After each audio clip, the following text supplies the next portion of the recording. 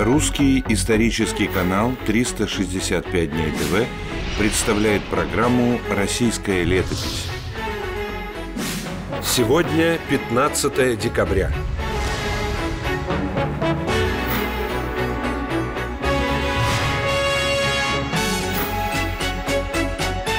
В этот день в истории нашего Отечества –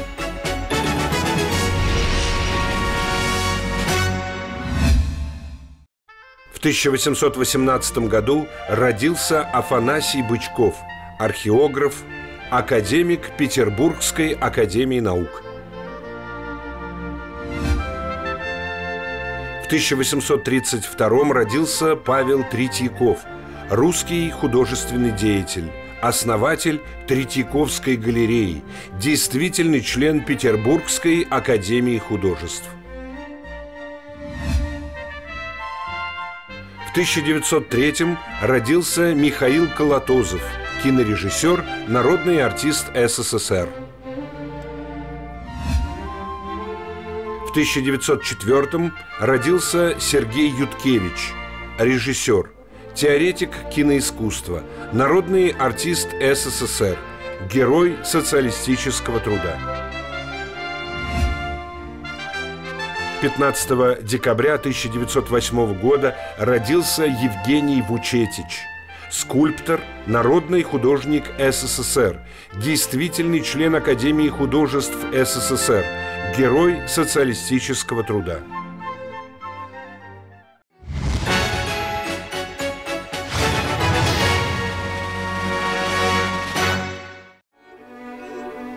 15 декабря 1832 года в Москве родился Павел Третьяков, русский художественный деятель, основатель Третьяковской галереи, действительный член Петербургской академии художеств.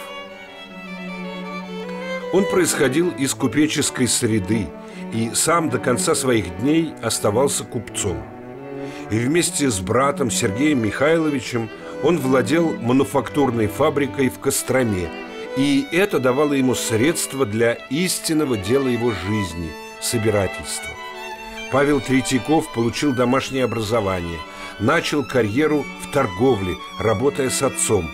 Развивая семейное дело, Павел вместе с братом Сергеем построил бумагопредельные фабрики, на которых было занято несколько тысяч человек – в 1850-х годах Павел Михайлович начал собирать коллекцию русского искусства, которую практически с самого начала он намеревался передать городу.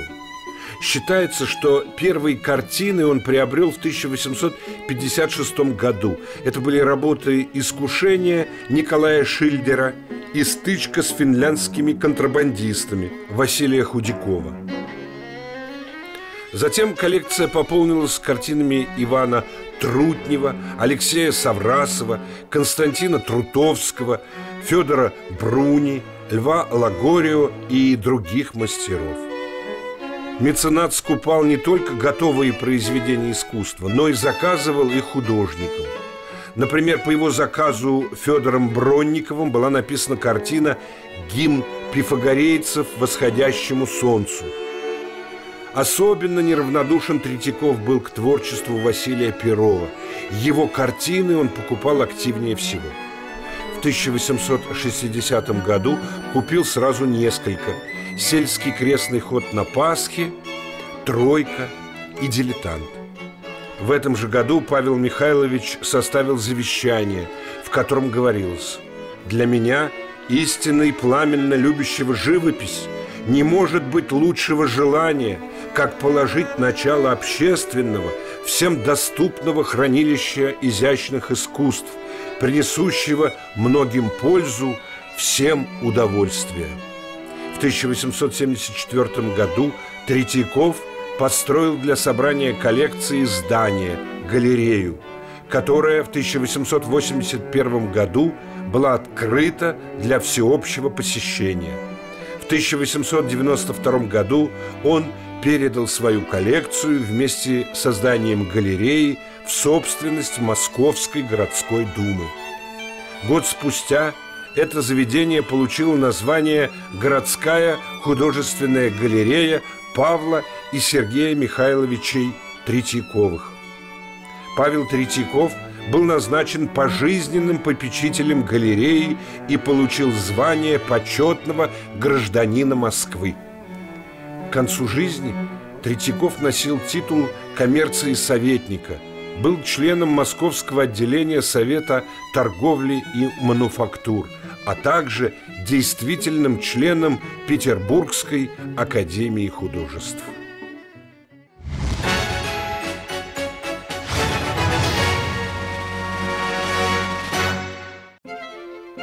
15 декабря 1903 года родился Михаил Колотозов, кинорежиссер, народный артист СССР. Он появился на свет в Тифлисе. Трудовую деятельность начал на Тбилисской киностудии, где работал монтажером, ассистентом оператора. Пробовал себя в качестве оператора, актера и сценариста. Режиссерский дебют Колотозова состоялся в 1928 году – он снял кинокартину «Их царство».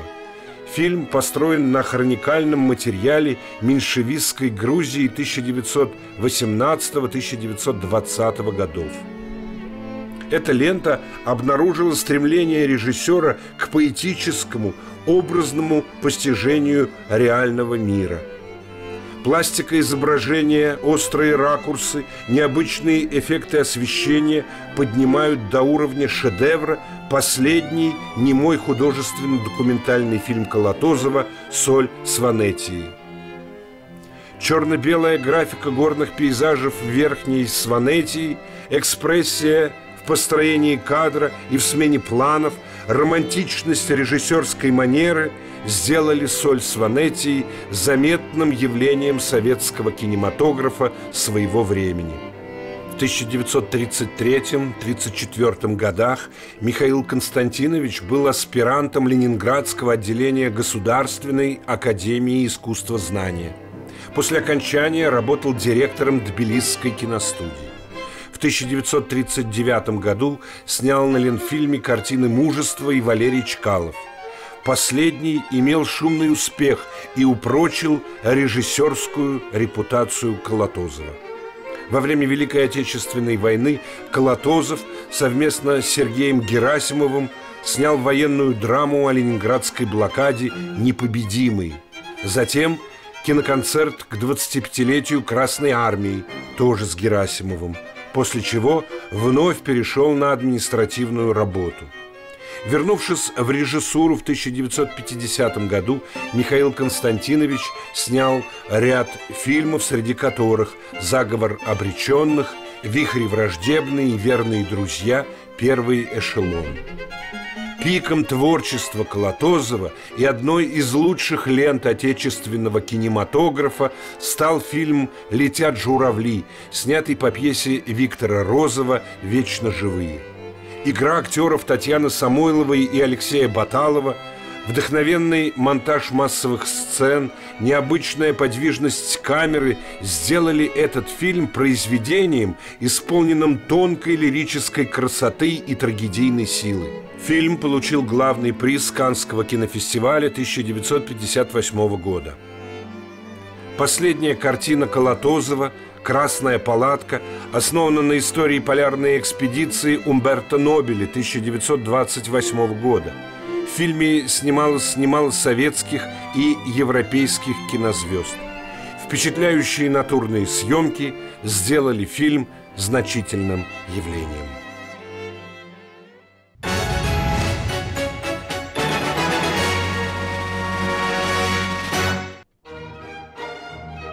15 декабря 1904 года родился Сергей Юткевич, режиссер, теоретик киноискусства, народный артист СССР, герой социалистического труда.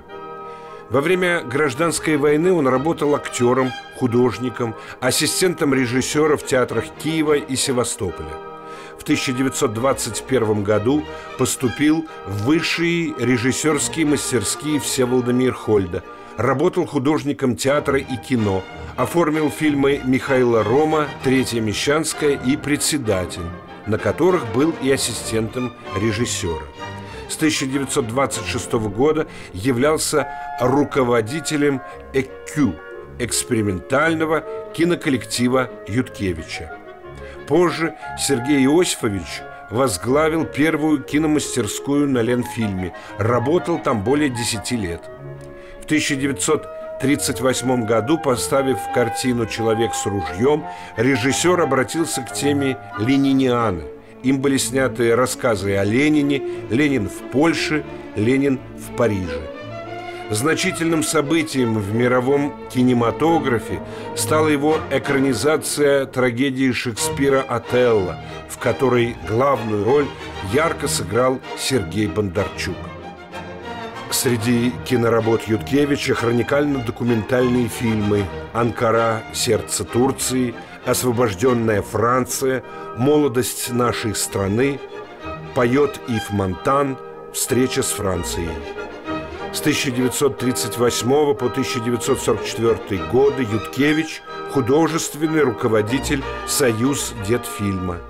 Помимо административной и режиссерской деятельности занимался научно-искусствоведческой работой и преподаванием, вел режиссерскую мастерскую в Авгике.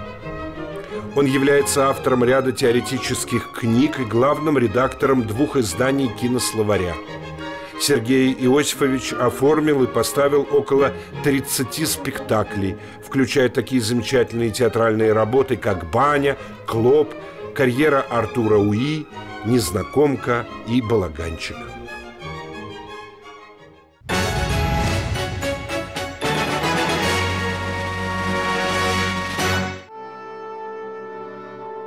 15 декабря 1908 года родился Евгений Вучетич, скульптор, народный художник СССР, действительный член Академии художеств СССР, герой социалистического труда. Он появился на свет в Екатеринославе, ныне город Днепропетровск – с раннего детства у Евгения отчетливо проявилось художественное дарование. Он учился в художественной школе. Затем 1933 году окончил Ленинградскую академию художеств. С 1935 года он жил и работал в Москве. Был ведущим скульптором объединения «Студия военных художников» имени Митрофана Грекова – в стенах студии Вучетич окончательно сформировался как скульптор. В своем творчестве Евгений Викторович с большой силой реалистического обобщения воссоздает важнейшие события истории государства. Созданные им образы нередко приобретают значение героического символа – Работая в соавторстве с архитекторами, Вучетич стал одним из создателей стиля сталинского классицизма. Он изваял целую галерею скульптурных портретов Ленина и Сталина, политических деятелей, советских военачальников, героев труда – Среди этих работ портреты маршалов Советского Союза Георгия Жукова, Александра Василевского, Андрея Гречка, Родиона Малиновского и других. Возглавляя крупные бригады скульпторов, Вучетич был главным автором двух самых известных советских военных мемориалов – Воинам советской армии, павшим в боях с фашизмом в берлинском Трептов-парке, а также скульптуры «Родина-мать зовет», памятника ансамбля героям Сталинградской битвы на Мамаевом кургане в Волгограде. В обоих случаях проявилось умение мастера достигать острой выразительности силуэта. Среди других произведений скульптора памятник Феликсу Дзержинскому в Москве. Фигура «Перекуем мечи на орала», одна из отливок которой была преподнесена советским правительством в дар ООН. И памятник Александру Матросову в Великих Луках. Российская летопись – это история нашего Отечества – Смотрите каждый день на телеканале 365 дней ТВ.